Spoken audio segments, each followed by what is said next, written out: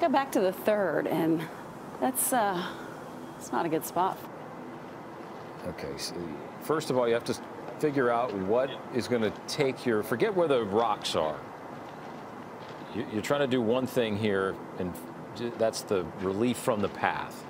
The ball's sitting down. Boy, it is though. sitting down. I wonder if he is in a little depression from a rock. Sounded pretty decent. Sure did. My goodness. Are you kidding? Are you kidding?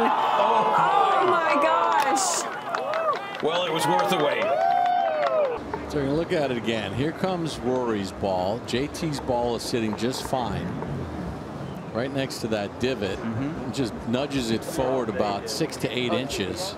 Yeah, JT's ball was between the two divots that we see there. about four inches behind Rory's ball. Yes. That right corner. And was it was it oh, was it in a divot or was it not? It was not in a divot, JT. No, it's not in the divot. It's not in the divot. It's in between the two, between the big divot and the small divot where your ball If it- is. if If you was move it back forward, in right behind, there, like right JT. Right here. Yeah. Thanks, Billy Ray. It definitely was not in the divot, so it's just a little four inches, yeah, right where his Yeah, I'm finger not, is. I, I mean, I'm, I'd, I'd say that's pretty good. Okay, but I mean, do you want to? Yeah, let me. Do you want to go? Yeah, and I'll go. Yeah. Okay, we're gonna have So- Rory hit first, and then Justin You can just leave it there if you want, back. or you Okay. can, or you can pick Or it up. can, or, yeah, if you'd like, you can mark it and. or it- would, would you rather be a mark or a ball? And then just ensure you don't. You good with that right there? Yeah, and just don't clean it. Yeah. Just put it right. Could have saved a few minutes if they just listened to us, Bob. I just want to make sure everything's all buttoned up. That's the right thing to do. We are at the ninth. Now, Hayden Buckley's second shot, it landed. And if you're going to land in one of these, this is the event for it to land at. It landed into a wastebasket at the WM Phoenix Open. fitting, uh, fitting into his week as well. There it is. I think I'm in a trash can. Okay. Yeah. Do you know where it is? Uh, they said it's this way.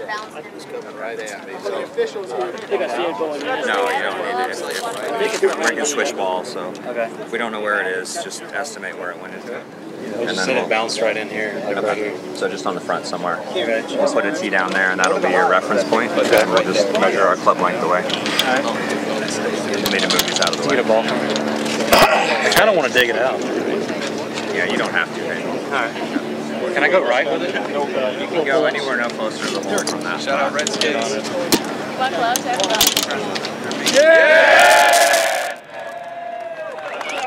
Lead it off. nice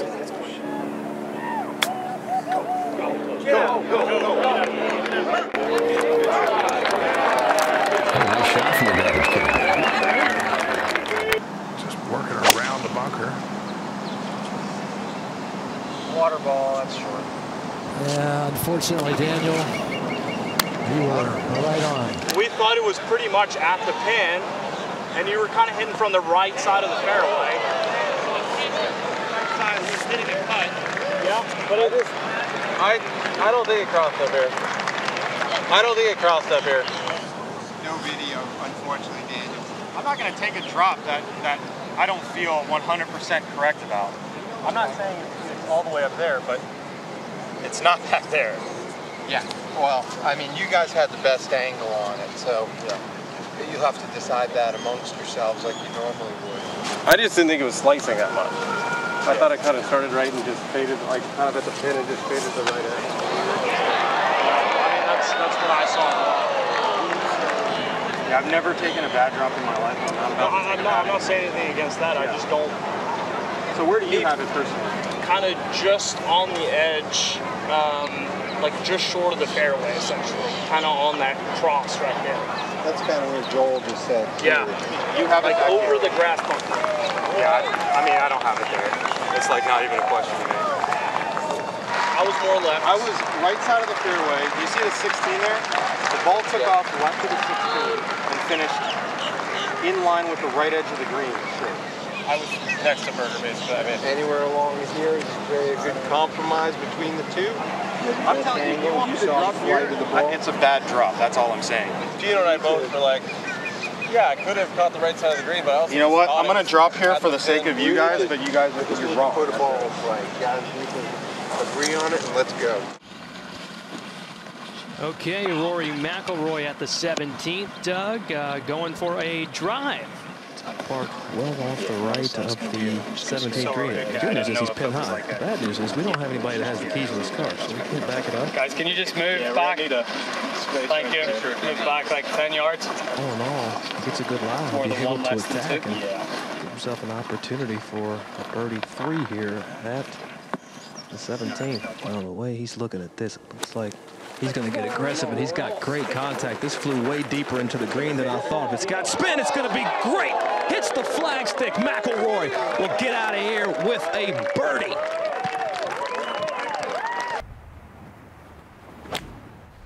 Yeah, it's blowing pretty good, Terry. That's an eight iron from 198. Oh, huge miss to the right. There's a wall over there, and it's over it. It's a home run. Actually, that's 14 green Yeah. right next Yeah. door. Yeah, the par three. Steve Rintoul out there helping him out. And Kurt, I believe he has the option of taking a drop from this from the green. Is he is he proceeding under wrong putting green? If that's what you want to call it, sure. But he had a flat lie on the putting surface. I'm a little surprised he's taking a drop here. So eventually, this is where Fitzpatrick's going to play from. Yeah, he would have taken. I think it's rule 13, wrong putting green. Really flick it over the wall. And I tell you, there's oh, one more bounce. Just checked up, didn't yeah. it?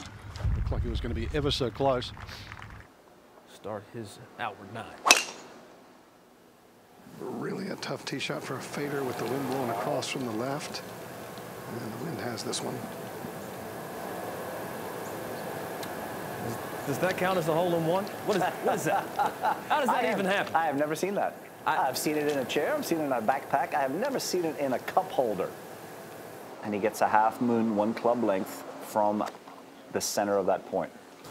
He walked up to me, looked at it, and said, it's just pure talent. And, and that is exactly right. Pure talent. Feels like he has some element of control. And now you're seeing the difficulty of having to play out of the longer grass. It's coming from the left. And this is coming in low and landing on the first third. No shame in that. I think, like, oh, is that a ball next to you? Look, Yeah. forward ball. Yeah. Yes. Ball, Nick Watney. He'll place it right behind John Huh's ball. It's literally where John's ball is. Nick's ball should be just touching John Huh's ball. Who's going to putt first? This is mine. Okay. So I can mark mine, right? Yeah.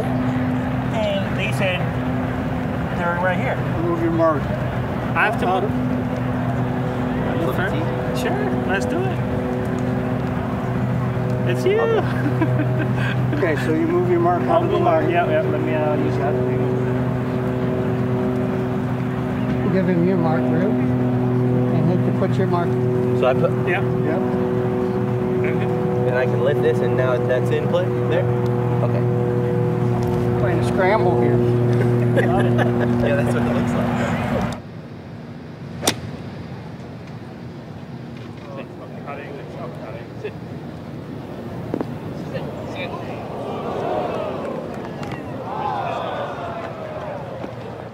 Cam Davis just on the edge.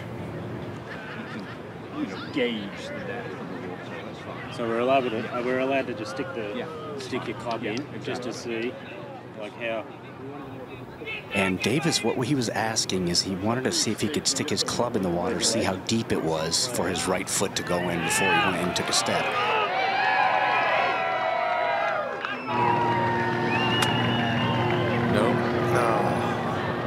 A scary little shot. He knows if he goes back a little ways, he's going to be a Woody Austin moment, maybe. This is Thomas Pieters, his second shot. We have had one player lay up in the fairway. Pl- Hole playing dead downwind, so everybody going for it. But that is the tricky part of that. We showed you the package before. Will it stay? It, it is on the sprinkler head. It's just a matter of whether the ball is touching the uh, the penalty area line. So that would take precedence over the sprinkler head. If it's touching, he's not getting relief for an uh, immovable obstruction penalty area. So then you'd have to actually play it from the sprinkler head? That would be correct. Thomas Pieters getting the explanation now. If it is touching the line and he doesn't get relief, that's just a terrible break there. He just walked up and hit it. Obviously, Thomas Pieters frustrated.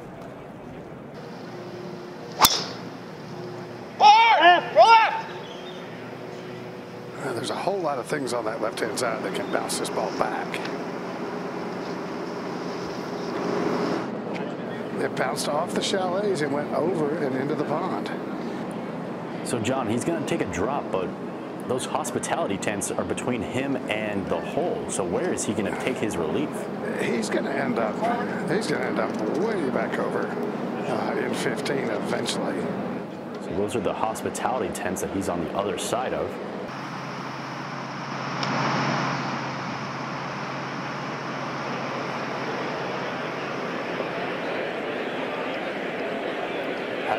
An aggressive swing. Thanks for watching the PGA Tour on YouTube. To watch more, click here, and to subscribe, click here.